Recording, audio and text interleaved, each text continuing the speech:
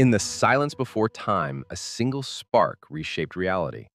From the Big Bang's cosmic eruption, energy became matter, and matter became the very blueprint of existence. As the newborn universe expanded, stars ignited, and around one modest star, a solar system began its dance.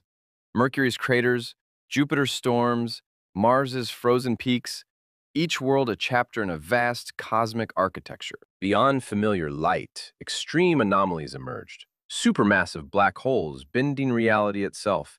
Neutron stars spinning with impossible force. These are the engines of the universe, where physics reaches its breaking point. Across the galaxy, alien worlds orbit distant suns. Lava oceans, frozen giants, twin sun horizons. Each exoplanet, a reminder that Earth is only one story in a library of billions. And now, humanity stands at the threshold. From the first steps on Mars to futuristic stations circling Jupiter, our cosmic journey has only begun. The universe is not just our origin, it is our future.